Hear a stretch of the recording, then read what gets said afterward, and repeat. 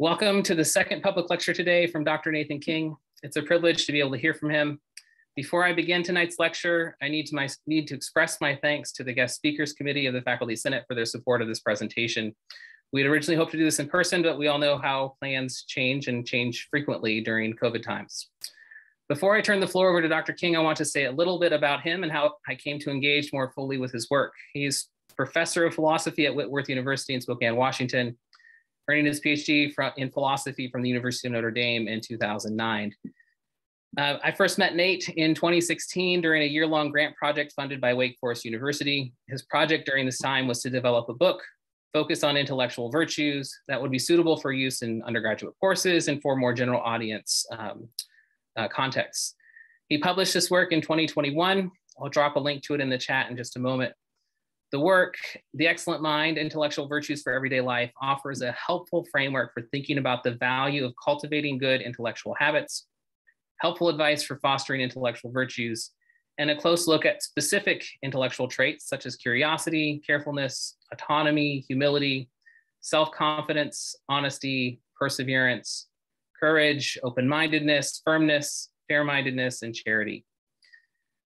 So I've assigned this book in my reasoning and critical thinking course ever since it came out last summer, and I can tell you students respond very well to it. I've had numerous unsolicited comments in our course evaluations about how students read and benefited from this work and, and how they, they're gonna keep the book and continue to reread it after the class. So to me, that's a sign of success in terms of a, of a successful work.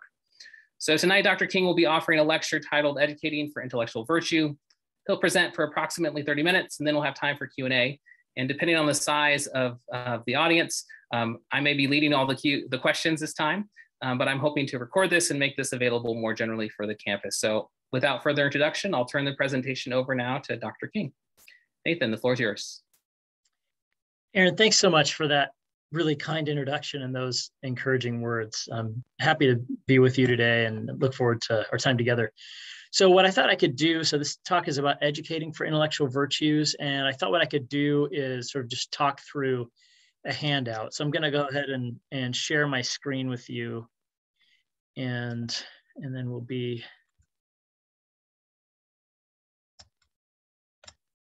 okay. Are you all able to see that okay? Yep. Okay, great. So when we talk about educating for intellectual virtues, lots of different ways we could uh, arrange the material.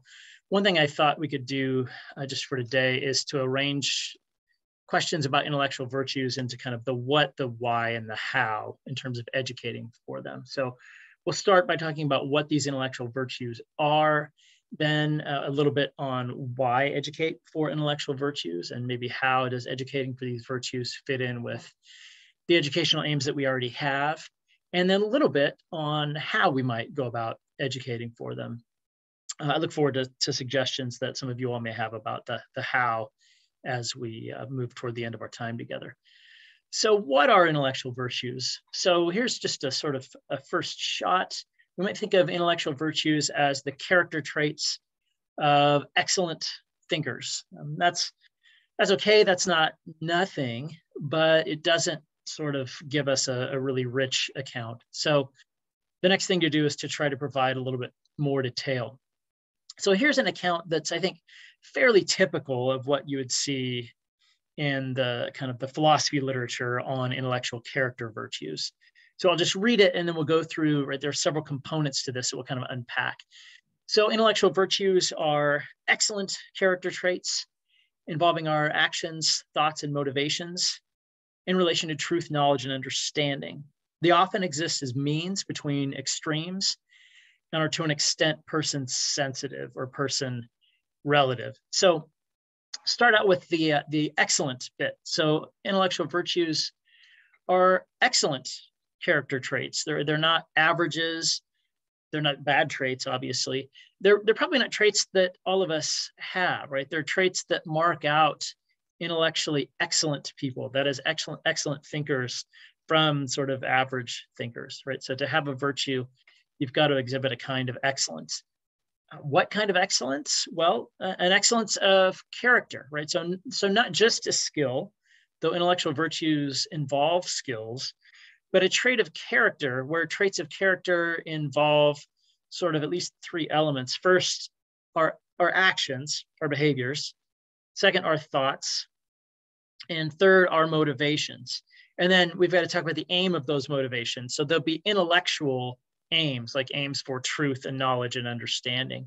So to, to circle back to the actions, thoughts, and feelings and relate them to these intellectual goals, we might think of a, a person who has curiosity as someone who will engage in this behavior of asking a lot of questions or who will think that it's good to seek answers to those questions or who will believe that knowledge is worth seeking. This is also someone who will have certain motivations right? They'll want knowledge. They'll also be averse to things like falsehood and ignorance. So we can see that that these these intellectual virtues as traits of character involve kind of complexes of internal states, right, or uh, dispositions to act and think and feel in certain ways, um, you know, in certain conditions, in relation to truth, knowledge, and understanding. Right. So we could there are other kinds of virtues, right? Moral virtues aim at moral ends like justice and the alleviation of suffering. Uh, intellectual virtues aim at intellectual ends, truth, knowledge, understanding, things like those. Um, there's a lot to be said about the relationship between intellectual and moral virtues, but I'll sort of leave that to the side for now. These intellectual virtues exist as means between extremes. So you can see we've got a, a chart here that illustrates this. We've got several intellectual virtues. You can see how each virtue sort of covers or is relevant to a, a sphere of activity. And then within each sphere, with, within each area of activity, we might have behavior, thought, and motivation that are deficient on the one hand or excessive on the other. So when it comes to managing our intellectual appetite, we have indifference as a vice of de- deficiency, right? The person who, you know, when asked what's the difference between knowledge and ignorance says, I don't know and I don't care. I love that little, I got that from Tom Morris. I don't know and I don't care. That's somehow exactly right. Or right there's on the other hand, the the intellectual glutton who is constantly seeking knowledge about things that are maybe beyond them or that aren't their business or things like that, right? So curiosity, right, this mean in between amounts to appropriately managing our intellectual appetite. And several other intellectual virtues seem to be structured like that, right? So autonomy is a virtue that covers the realm of independent thinking, right? Like thinking for ourselves, on the one hand, you might imagine the, the vice, the deficiency of servility, sort of, you know, the person who, you know, needs to have their hand held through every assignment or just who, who asks, you know, what should I think without taking any intellectual initiative of their own. Uh, there's, on the other hand, the, the person who's isolated and, and sort of won't take intellectual advice from, from anyone, won't listen to others as if they're sources of information. And you can see this kind of on down the line. I'm not sure that all virtues have this sort of structure where we have a virtue that's flanked by two vices, but a lot of them seem to. Um, I'm not sure that virtues like uh, honesty have, uh, you know, an excess vice. I'm not quite sure about that. But at any rate, at any rate, this sort of uh, vice virtue vice schema can be a kind of helpful way to home in on uh, the virtue Okay, so these intellectual virtues differ from each other, at least in part, because they concern different areas of activity, right? That's what distinguishes them from each other. But here's what they hold in common uh, this motivational component for truth, knowledge, and understanding, right? That's the kind of positive motivational component. And then the negative one will be, you know, an aversion to kind of the intellectual bad things like falsehood and ignorance and so on. Okay, so that's a little bit about what these intellectual virtues are. Um, hopefully that, that gives us at least a working understanding. You know, we can always, you know, go a bit further uh, in the in the discussion period. But let's talk for a few moments about why we might sensibly educate for these intellectual virtues. So one way to see this is to start by asking, well, what are some other things we already educate for, right? What we educate students to be prepared for a job, to gain knowledge, to gain certain skills. Sometimes these are skills that are directly job related. Other times these skills are kind of transferable skills, like skills in critical thinking and writing. Now, I want to suggest that all of these are valuable, uh, but that none of them are sufficient in themselves, uh, nor are they sufficient for a complete education if we sort of put them all together. Uh, so I, I got to thinking about this um, in part because I was reading some uh, some work in uh, the philosophy uh, sector, um, the field called epistemology. This is the theory of knowledge. And there's been a, a, group of philosophers called virtue epistemologists who have highlighted the importance of intellectual virtues uh, as part of kind of the, the cognitive life, right? The intellectual life. The other kind of key impetus that got me thinking about why we should educate for these virtues was that I was writing uh, a purpose statement for um, professor jobs, right? I was applying just out of grad school, trying to become a professor. And when you apply to be a professor, as many of you know, they, they have you write these statements of teaching purpose. So I got to thinking about what I wanted for my students. And, and initially I thought, well, in addition to the ability to gain a job, I'd want them to know some things, right? There are certain things that an educated person just should know. And that seems right. And it's good so far as it goes. But I thought about it a little more and I thought, you know, I've I've forgotten a lot of what I've learned in my classes. So I really hope that's not the whole of it. And I also noticed that that someone might have a lot of knowledge but not be able to connect the various bits of knowledge from one you know area of inquiry to other areas so it seems like we need more than just knowledge so then i thought well maybe skills right maybe skills would be an important thing to add right so skills in critical thinking you, might think of logical reasoning as a helpful tool or seeing connections between various bits of knowledge. So that seems like progress. Or you might think of kind of critical reasoning that we have to use to avoid being duped by fake news, right? That seems really important. Or you might think of the skill of being able to communicate clearly. So again, all really important and all part of the package. But then as I thought about it a little more, it became clear, even if we add skills to knowledge, that's not going to be enough because we can use skills toward unwise ends or toward unworthy ends. So you might think of a political pundit sort of using their position and their communication skills to sort of spread fake news or propaganda or something like that. Right? these are unwise and unworthy ends, right? What we care about in addition to those things is truth and knowledge as such.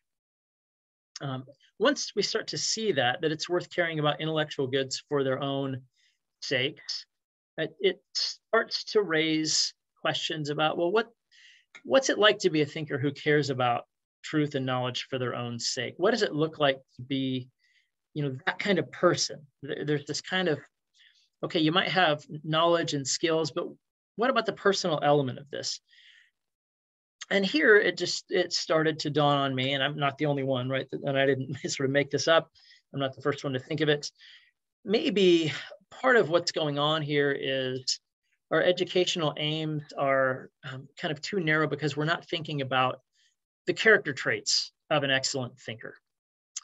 Uh, there's this book by Andrew Delbanco. He has taught for many years at Columbia University. And in this book, this is called College What It Was, Is, and Should Be. He quotes this colleague of his who says, You know, you want the inside of your head to be an interesting place to live the rest of your life. This is what she says to her students. And then Delbanco starts to catalog some features of a mind that is an interesting place, right, to live the rest of your life. And he starts to catalog some of these features. And they start to look a lot like intellectual virtues. They start to look like curiosity and open mindedness and humility and uh, the like of those. We might also kind of get a handle on why intellectual virtues are important for the educational process by thinking about what it is to be a lifelong learner. A, a lot of teachers say they want their students to become lifelong learners. I'm going to bet that if we start to list the character traits of a lifelong learner, uh, we'll start to list things like curiosity and open mindedness and thoroughness and autonomy, this willingness to sort of think for ourselves. Right? These are intellectual virtues. So the language of intellectual virtues, at, at least for me, provided a helpful way to express some of the things that I might already have been inclined to express. Uh, one other thing to note here, and, and this comes uh, directly from the philosopher Jason Baehr. In fact, he's got a terrific book called Deep in Thought uh, that anyone who's interested in this material really ought to pick up and read. Baehr talks about how intellectual virtues education provides us with a way to keep education both rigorous and personal. Right? And, and you can imagine that these two would often come apart. You know, you've got these education programs that are very rigorous, right? That emphasize things like high test scores and you know high academic achievement according to kind of objective standards right and then on the other hand you've got this kind of personal aspect to it this kind of come alongside students aspect uh, this aspect that focuses on students personal qualities and what Baehr points out is that if we focus on educating for intellectual virtues, we, we then have a framework where we can have both of those things at once, right? So we have a framework that's rigorous in that it calls for genuine excellence. And so, you know, it allows me to say to that, that student of mine who's an A student, but who's really still not uh, doing work to the best of their ability, hey, why don't you try to be even more thorough, right? Why don't you go even, even further with this?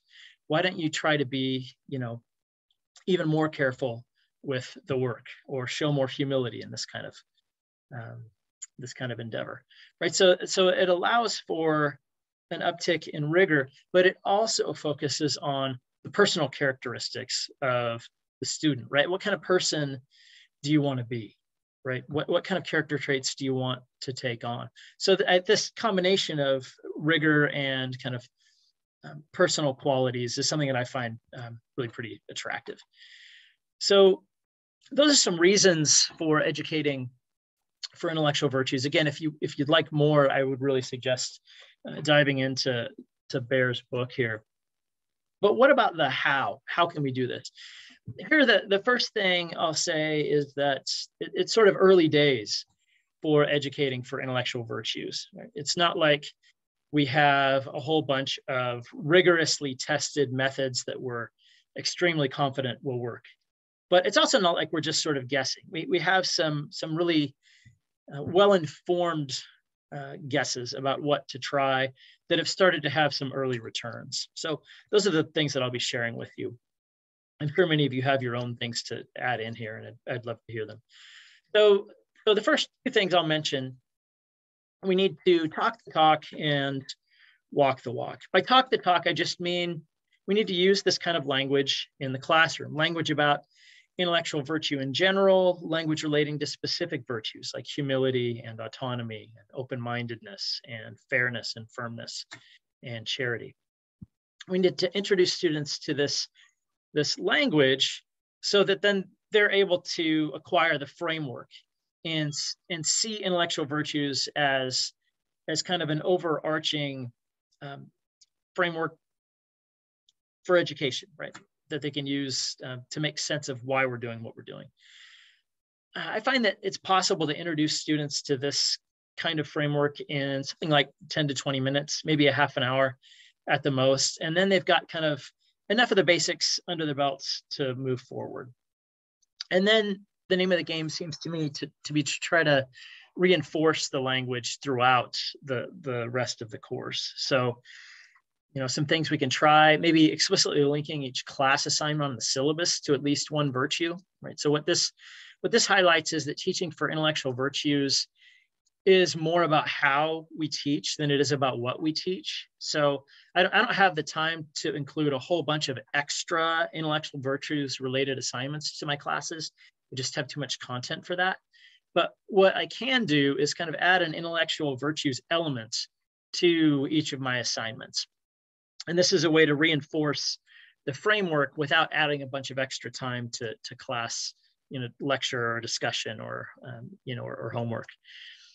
I also am doing my best to use virtue language in feedback on assignments. This is uh, another tip I, I, got actually from, from Baehr. So, you know, instead of just writing things like good job or, you know, this is a fine paper, I'm doing my best to say more things like, you've shown a lot of thoroughness here, or this is a good instance of humility on your part. Or maybe in other cases, you know, instead of, oh, this is wrong, uh, you know, a little more carefulness might have prevented this mistake or something like that. But using using virtue language and the feedback on the assignments is another way to enforce the, the language and help students see their education in terms of these virtues, at least in part. About the only thing that that I do that requires a bunch of extra time, well, not a bunch of extra time, but significant extra time beyond which uh, beyond what I would normally invest in my in my content is just to provide some brief self-assessment exercises or, or kind of questionnaires that are designed to give students at least uh, you know a, a, rough idea what some of their strengths and weaknesses might be. And so they can have a sense of which virtues they might want to select as targets for for growth right? So maybe you know they they figure out that they struggle with autonomy right maybe they're not thinking for themselves enough. Maybe they're relying too much on others, or maybe they're relying on themselves too much and they need to give more deference to what others say. But these these kinds of self-assessment exercises uh, provide a, a means of self-reflection so that students can start thinking about how they might want to grow. So that's a bit about talking the talk. Another thing we need to do is walk the walk, by which I just mean we need to model these intellectual virtues in the classroom. So we can do this by behaving in intellectually virtuous ways. We can do this by demonstrating our values, right? By just showing that we care about knowledge in its own right. Sometimes that's just a matter of, of talking the talk, right? Saying, look, I really care about this. Um, and we can cultivate, you know, uh, a, a desire for understanding by showing that we have that sort of desire, right? Let's dig into this stuff together. Let's see if we can dig deeper here rather than, than stay on the surface. So, I mean, how does this look concretely? Some things we can try. I'm, I'm sure you have your own ideas. Um, I've, I've found that students respond pretty well when they hear their professor say, I don't know, or in response to a reading, hey, this one was difficult for me too. I had to read this, you know, four times last night in order to have a sense of what the author's up to. When students hear those kinds of things, um, it encourages them that it's okay to have limitations, right? That they don't have to get it all for themselves right away. So that's one way we can try to model uh, these these virtues, especially humility.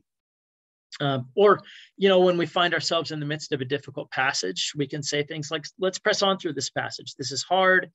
Uh, I know it's difficult for you. It's difficult for me too. Let's see if we can keep moving." Uh, curiosity. Students ask wonderful questions in class. Sometimes they ask the same questions that I have, and in which case it's I think fair to say, hey, I've been wondering about that. That's a great question. Let's let's think about that further. Uh, another thing to do, an even better thing to do, is something that I saw uh, the philosopher Christian Miller do at a conference. He was giving a talk, and someone in the audience asked a question, and it was a tough question. he just stood there for a minute, and he said, I don't know. I don't know the answer to that question. But that's a really interesting question. And they took the, took the time actually to write it down and then sort of wondered aloud about the question for a few moments. And in that moment, I thought he showed not only great humility, but also a great deal of curiosity, right? Just being attuned to the question that someone else was interested in and, and finding that question interesting himself. Uh, what about the virtue of carefulness? What's something we can can do there? Uh, one thing that that can be uh, pretty simple to do is to take a, a chunk of prose that contains an argument, you know, a set of reasons that are given in favor of a conclusion, and just write the argument in step-by-step form on the board. Hopefully you've got a real chalkboard instead of just a whiteboard for doing this. That'll make it seem more official and intellectually serious. But but this can let students see how the argument is supposed to go and then and then help them move from kind of a vague sense of oh i don't like this or i don't i think something's off here to a sense of oh now i see maybe exactly where the problem might be or where the pressure point is for the discussion so those are some ways we can try to walk the walk um, one caution here I, I once uh, heard a, a good preacher say it's important not to be the hero in your own sermon. And I think that's true when it comes to our own teaching lessons too. We, we shouldn't make ourselves the heroes of our own lessons, right? So uh, you know, we've got to be really careful not to hold ourselves up as paragons of intellectual virtue. If we can just hold ourselves up as people who are trying to pursue these virtues, I think that's that's probably good enough. It's okay, I think, sometimes to share that we're we're grateful to have made some progress or something like that. But important, I think, that students see that we're really doing the same kind of thing that they're doing, namely, you know, trying to make progress in our pursuit of these virtues. Right? We're we're not finished products.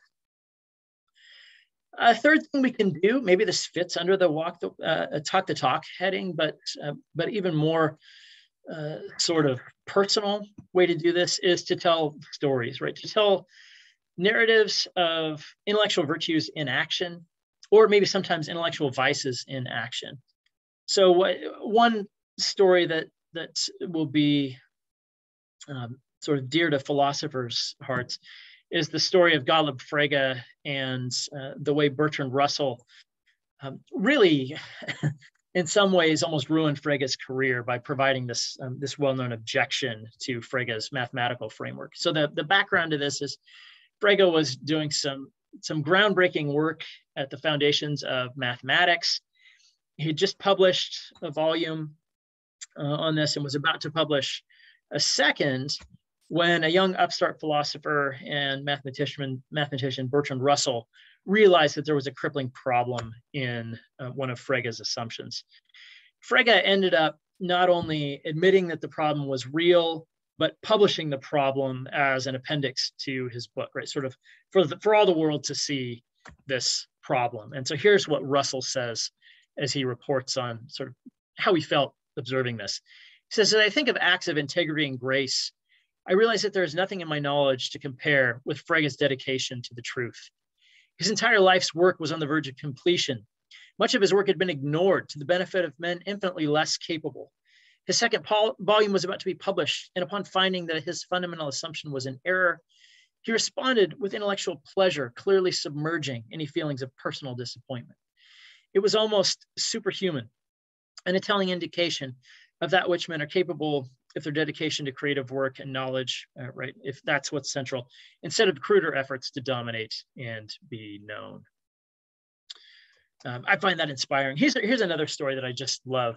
Uh, if you are in the medical field, you will have heard of Helen Taussig. So Taussig was the founder of pediatric cardiology. She ended up developing a surgery called the Blalock-Taussig surgery, which was a surgery that helped uh, save the lives of countless uh, infants who were so-called blue babies, right? They had this blue complexion that was a symptom of a deadly heart defect. Uh, Taussig went on to become the first female president of the American Heart Association. She published hundreds of papers. She, uh, in 1964, received the Presidential Medal of Freedom, right? So a, a great deal of accomplishment, right? as much as you can really accomplish in, in medicine, really. But if you'd known her as a child, you would never have predicted this. So, uh, and I'll just sort of tick through a list of obstacles that Taussig had to encounter, right? So, as an infant, she contracted tuberculosis, and this held her back in her education, right? For a couple of years, she was only able to attend school half time. Her mother died when she was just 11. She battled learning disabilities that made it hard for her to read and to recognize numbers. And these difficulties were severe enough that they led her father to wonder privately whether Helen would even finish grammar school. Uh, despite this, he, he tutored her and was determined to, to help her achieve all she could achieve. And eventually, she was able to go to college. She went to Radcliffe College and then eventually to, to Berkeley.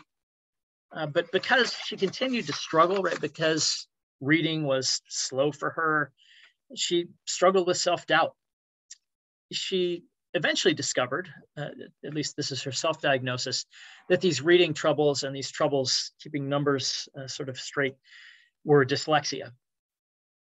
But despite all this, she persevered and her work was excellent, right? It kept sort of improving because she was just trying a, a great deal harder than everybody else was.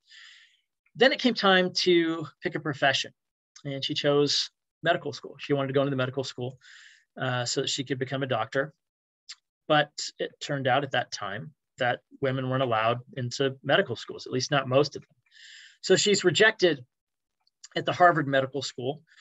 decides to try to apply instead to the Harvard School of Public Health, which did admit women, only to find out that women who earned a degree, uh, sorry, women who completed the program were not able to even earn a degree, right? They could just go through the program and, and get really no official credential for it. She decided that's not for me.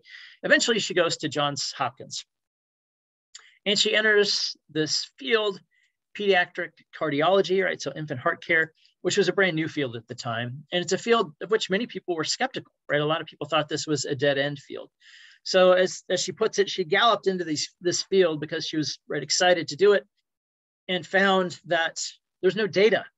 there's no data to work with in this field. So she had to compile virtually all the data available for herself. And within 10 years, she had done a great deal of work on this, only to find that she was losing her hearing.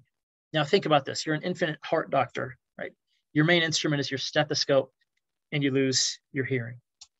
She provides a workaround. She adds an amplifier to her stethoscope, uh, and then eventually learns to, to feel for the pulse and to use electrocardiogram machines to, to feel for uh, to, to get an additional data point right uh, finally she ends up developing this surgery right but, but the, the point is we've got a life of someone who's a tremendous success in medicine who encountered obstacles to her intellectual success and her and her career as a doctor at almost every turn right?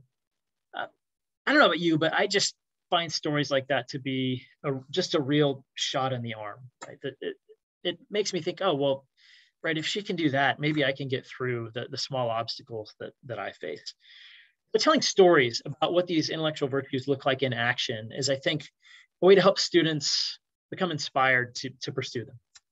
If you want more on Helen Taussig and people uh, people like her in the medical field, see Rachel Swaby's terrific book Headstrong. This is a a compilation of, of, vignettes about women who've made important contributions in the sciences. Just an inspiring work. Uh, last thing I'll suggest is just holding practice, by which I mean providing students with practice in activities that are relevant to intellectual virtues. So here we can take the advice that Aristotle has related to moral virtues. He says we are what we repeatedly do, right? So if we want to become courageous, we should perform courageous acts. If we want to become just, we should perform just acts, and so on. That's an important part of moral formation. And I think it can be an important part of intellectual formation. So, so here are just some possible exercises that we might consider for our students. And there, there are dozens of these. There's no official list. And I think th- this is an area where collaboration and creativity can really can really help us. But if we're thinking of just a few virtues and classroom activities that might be conducive towards some of those, here are some thoughts. So the virtues of attentiveness and autonomy, right? So this can really help us to, um, uh, these are the virtues that help us to pay attention to say what we're reading and to take ownership of our own learning, right? So we need to become attentive and careful readers and not just readers who are sort of soaking things in from the books that we read or from what other uh, other things we read, but also who think about them, right? And who take take a kind of responsibility for what we gleaned from those books. So one thing we can do is ask students to keep uh, what's what used to be called a commonplace book, a book of notes on the readings that we assign for classes. Often these notes can be assigned in response to specific questions about a reading, readings that are arranged in such a way that if students can answer all the questions in the in a reading guide that, that they'll have understood the reading, but also questions that prompt further reflection. Uh, students who take such notes, uh, at least they've reported to me, have, have found themselves to be deeper readers at the end of the term than they were at the beginning. And, and some of them actually continue this practice. Uh, what about courage or carefulness, uh, perseverance? There we can do an activity, uh, I just call it revise and resubmit. So just have students submit drafts for at least some papers in the class in two drafts. Um, this works particularly well for longer term papers maybe it's it's more appropriate for majors level courses, upper division courses. than for lower level courses, um, though it might work well there too. So uh, the way this works, and I've, I've, got a colleague who's been doing this for years and, and has found it uh, to, to help him. I, I, started to adopt it for myself. Students submit a, a real draft of a paper, not a, a rough draft, but a real attempt to get things right. They do this with maybe a month or five weeks left in the term. And then very quickly, a professor can provide detailed feedback, both on the style and substance of the paper, and then students get a chance to revise in light of that feedback. Um, we've also recently paired students up with a partner uh, with whom they swap papers and they give each other feedback. Uh, this can foster uh, courage. It can also foster honesty as they give feedback uh, to their peers, uh, courage as they as they receive it. Uh, but this is a way to again provide some practice in some of these virtues. for open-mindedness, we might have students identify their view and then assign them to argue for the opposite view not for the sake of you know converting them to that opposite view, but for the sake of seeing whatever merits the view has and being able to appreciate them. Uh, and notice that won't end up resulting in students say, and you know, endorsing truly heinous, horrible views because such views don't really have merits, right? So open-mindedness only requires us to take seriously the merits of um, other views. If those views end up not having merits, then we don't have to take them seriously. Of course, that's something we can only figure out after having carefully looked at the arguments in, in favor of, of the view, right? So uh, we need some open-mindedness on the front end uh, before we could dismiss a, a, a terrible view. Uh, the last thing that might be worth trying is the routine called the CSQ routine. This comes from Harvard uh, theorist um, Ron Ritchhart. He's in the School of Education at Harvard. And he's got this routine called claim support question. And there the thought is, okay, we, we find the main claim that an author or maybe classmate or professor has made, and then identify the support that's been given on behalf of that claim. Philosophers call this, you know, identify the conclusion, then identify the, the premises. But just, you know, to keep it simpler, identify the claim, identify the support, and then we can begin to ask questions about whether that support is strong support or not. This is a sort of workaround, uh, you know, for those of us who who wish everybody would take, you know, two or three logic classes during their time at a university. Now, this is a workaround that can keep us doing the kinds of things that we would do in a logic class uh, without having to introduce as much sort of technical apparatus. So this can provide, I think, a good start in the direction of, of logical reasoning. Um, you can see some more resources for educating for intellectual virtue down here in the list. Uh, again, I mentioned Baehr's book. He's got an ebook called Cultivating Good Minds. This is available for free at intellectualvirtues.org. At least I think it's still free. This is a, a more or less comprehensive guide toward educating for intellectual virtues. Um, it was written, as I understand it, um, in part for K through 12 teachers, but a lot of it is applicable at the, the collegiate level as well. Uh, you should also see Ron Ritchhart's book, Intellectual Character, What It Is, Why It Matters, and How to Get It. Ritchhart speaks more in terms of what he calls thinking dispositions than in terms of uh, intellectual virtues explicitly, uh, but, but highly relevant. And then lastly, Rachel Swaby's book, Headstrong, uh, which I mentioned earlier. Okay, I'm gonna stop there. I'm afraid I went on a little longer than I was supposed to, but I hope we still have plenty of time for some good discussion I think we have time. Thank you, Nate, for that for that presentation. I appreciate it. I know that there are some folks here who are not able to be on camera or or speak out. Um, you're welcome to drop a question in the chat if you would like, and I'll, I'll watch the chat and look for look for questions there. I'm going to go ahead and start. I, I was writing up questions as as you were talking on, on, a number of really interesting things, and I think maybe one one question that I just would like to start with, um, if you don't mind, is to think a little bit. You know, you distinguish your focus here on educating for intellectual virtues rather than moral virtues or civic virtues or something like that. And you often talked about sort of the goods that these intellectual virtues target. So, goods of knowledge, truth, understanding, or avoiding um, the opposites. So, error, ignorance, falsehood, those sorts of things. Um, and then a little bit later on, when you were reading the Russell quote, there's this line in there that talks about um, sort of a, a valuing knowledge for its own sake and not for the ability to dominate or to be known, right? Right. And that suggests different types, a different type of good, even than like so it's the the the ability to sort of control other people's minds or control the direction of thought or control the direction of inquiry or to be known as the one who knows right or to be known as the one who is um, sort of knowledgeable or something like that so i'd just like to invite you if you don't mind to sort of talk a little bit more about the intellectual goods maybe some distinctions like how, what's the difference between knowledge and understanding? Um, those sorts of things and then think about those in contrast to the other types of goods like these social things about domination or about being known. Right yeah.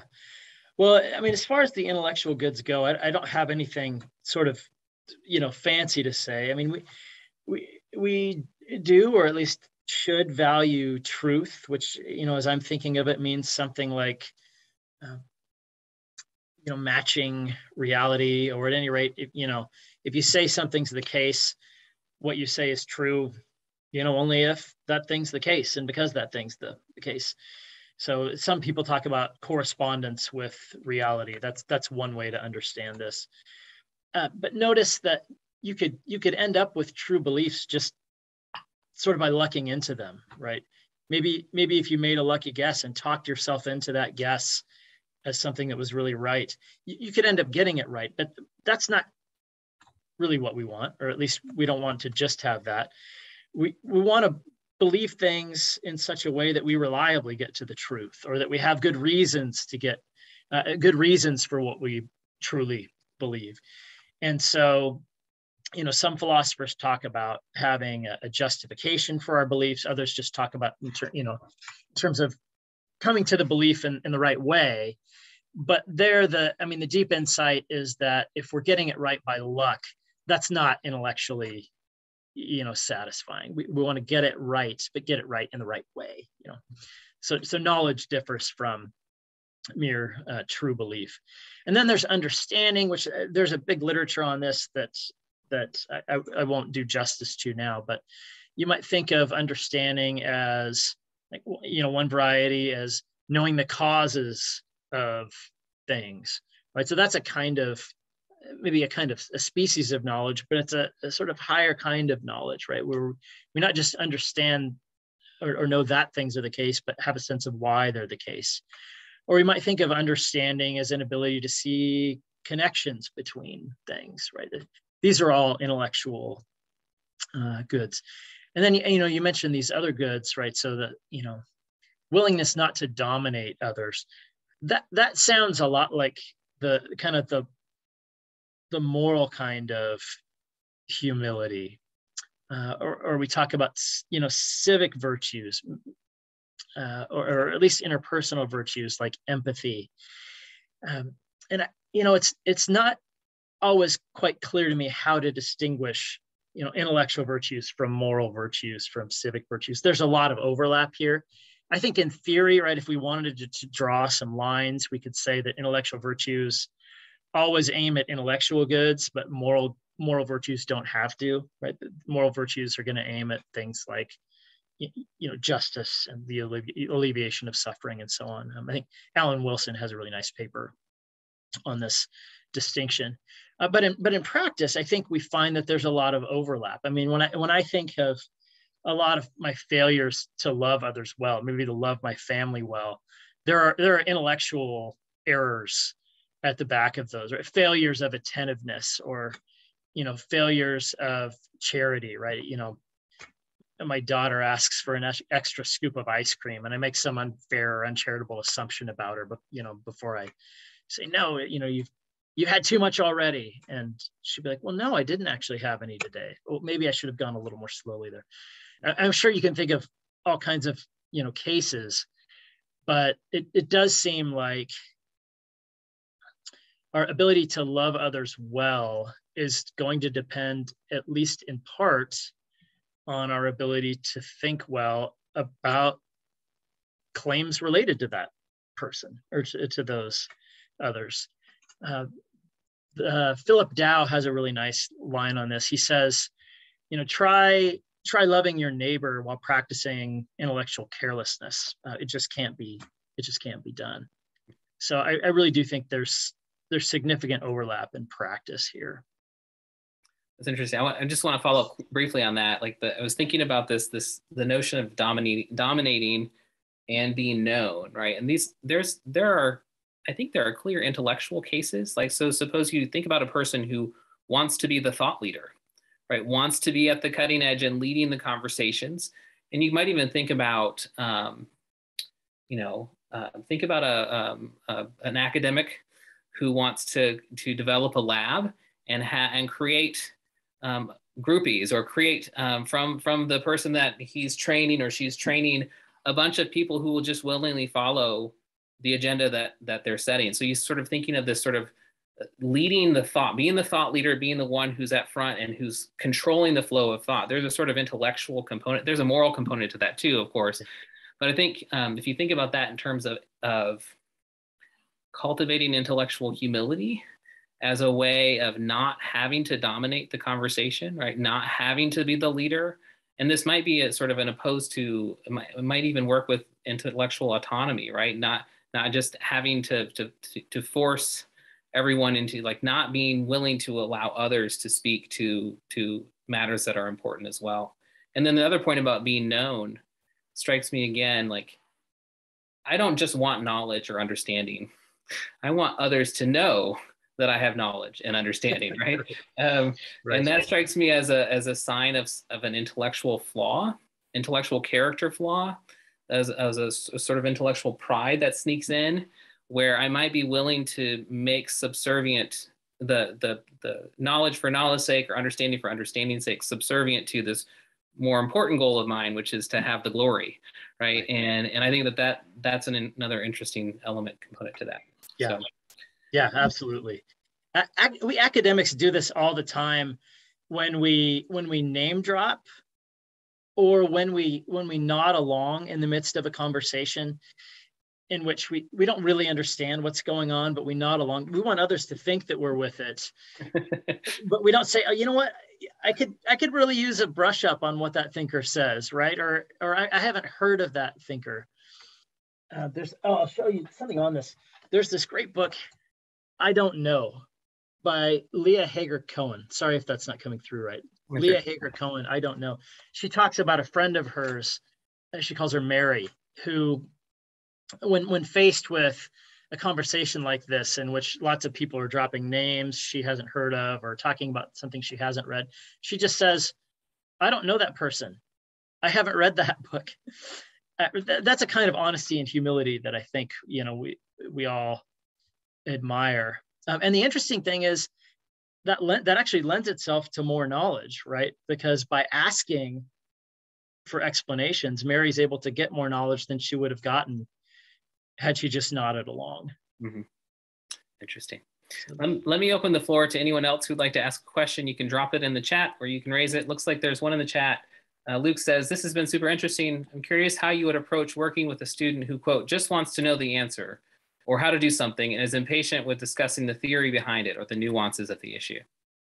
Yeah, that's a good question. And this it, was this a student who asked this? No, this is this is one of the other philosophers on campus. Okay, all right. If it was a student, I was going to put the question back on the student and see if they could tell me how I should do it right.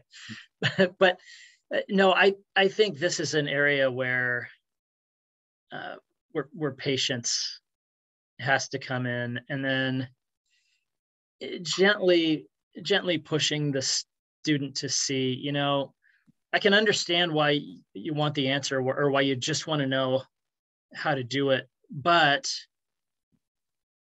if i leave you out on your own for just a little longer you're going to understand this in a way that you could never understand it by my just telling you right you'll you'll come to understand something that you could have only gotten by testimony from me um, i actually had a a professor in graduate school who did this for me. I was wanting we so we have in graduate school these intimidating oral examinations. You have to you know basically memorize a whole bunch of articles and then and then you get asked questions about them. And I was kind of pressing my advisor for for more face-to-face time to talk about these articles. And this professor just said you kind of need to stand on your own two feet here. And I'm, I'm really glad that the professor you know did that so and and the professor did that not out of laziness, but for my good, right? This enabled me to learn things eh, with a depth I could never have learned them if the professor had caved to my, you know, my requests. Yeah, that's interesting. We have another quote in the chat from Dr. Brightman. Uh, she writes, I think that part of being a little less ignorant than other people comes with the responsibility of help, helping others be less ignorant also, correct? That sounds right to me. Yeah. Yeah. The, uh, the, the chapters of your book that I think where this becomes most clear are the chapters where you talk about intellectual virtues that are sort of other directed I wonder if you might speak a little bit about I mean, maybe the chapter on fair-mindedness and charity is probably is probably the most relevant in this context. Yeah. So let's see.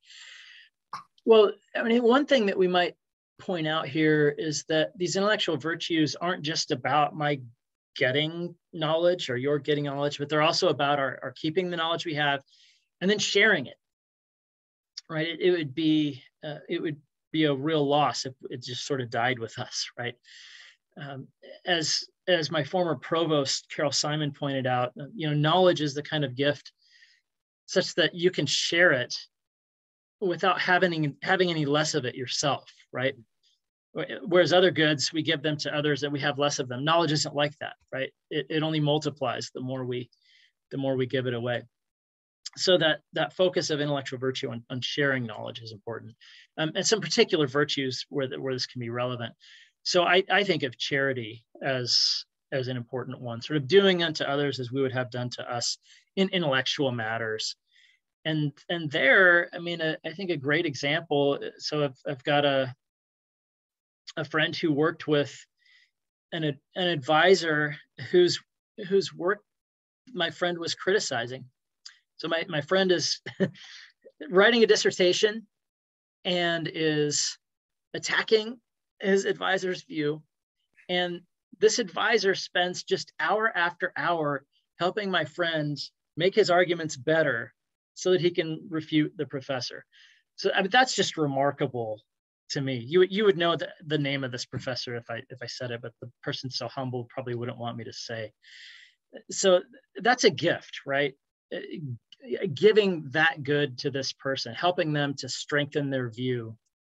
That's a way of of sharing knowledge that um, you know obviously goes beyond just this professor having the knowledge uh, but but helping this this student to to get it. Yeah. That's great. Other questions? Those are great questions. Um, i guess we have time for one more. I think maybe i'll i'll ask the last question and um, this was this occurred to me as i was as i've been thinking about your book and thinking about and as i'm thinking about it i'm going to put the link in the chat for anybody who's interested. Um, uh, as I've been teaching this book and thinking about it and, and thinking it through with my students, I've I, have actually put this question to my students a couple times, so I'm going to put it to you. Um, so, can we develop these virtues without explicit instruction about these virtues? So, I think that's an easy question. Um, easier question maybe. Um, and but there's a follow-up and that is if the answer is yes that we can develop these without explicit instruction what is the value added from having explicit instruction about these traits? Okay. So can we develop these traits without explicit instruction so could you become? Philosophers are always asking questions about what's possible, right? So I'm thinking up some scenario. So I, I mean, I'm going to suggest that it's that's going to be a relatively rare case. It might depend on what we count as instruction, right? Is reading a narrative does that count as instruction? Uh, but what I suggest is that we can get pretty far with fairly minimal instruction. Um, what really matters, I think, is practice and emulation and looking at exemplars. But I don't think you know the the direct instruction is is without value. Because it the, the more direct instruction we have the kind of the more we know what to look for in terms of what are the specific motivations i should be seeking that are relevant to this specific virtue humility or this specific virtue autonomy. The the additional instruction can provide a, a degree of precision that we might not get otherwise. And I think that can be helpful as we select our goals and and the means toward those goals. But you know, I think initially, right, to get started, the, the startup cost isn't that high in terms of you know direct instruction. But I, you know, I wouldn't I wouldn't want to say that it's um, the direct instruction is somehow unimportant or something something like that. Excellent. Well, thank you so much, Nate. I really appreciate the talk that you gave here and appreciate for your, your time with us today, both in the earlier lecture and this lecture as well. And thank you to everyone who was able to join us. I'll, I'm, I'm glad that I was able to record this as well to share with those folks who, who were not able to, to log on tonight. So thank you so much for your time and for your engagement with us. Um, and, and that brings tonight's discussion to a conclusion. Thanks, thanks so much for joining us thank you all so much for for logging on. I know that you're all busy and it's dinner hour, so uh, I was just delighted that you were able to join us. And thank you, Aaron, for setting this up. This was really a lot of fun.